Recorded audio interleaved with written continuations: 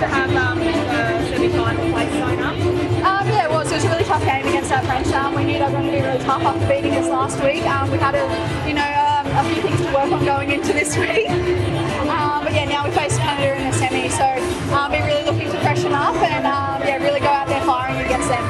You guys really physically aimed up this week. Yeah, definitely. We know uh, last week the French really had it over us physically, and um, they did this week really around the ruck, attacking our ruck. Um, I guess going into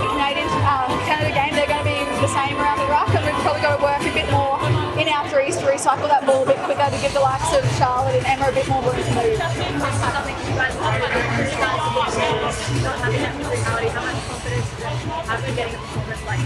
Yeah, I think um, you know Emma Tonegato's really aimed up in the middle for us. Um, she's been a tackle machine, and I think um, you know the likes of Ellia Green after she puts a big hit on, it lifts everyone. So it only takes those little individual efforts um, to kind of you know improve the whole team.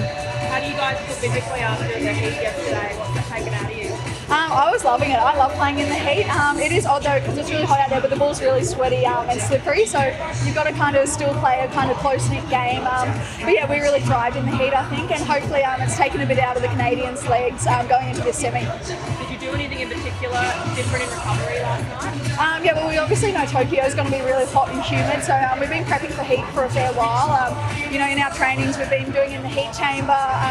Yesterday, we really focused on getting our cool body temperature down, so the ice vest we're on. Uh, we've been having icy poles, um, you know, during the game in the warm up, and just to kind of keep us cool and um, hope that recovery is a bit quicker. Good? Yeah, yeah. All good. Cheers. All is said and done. Thank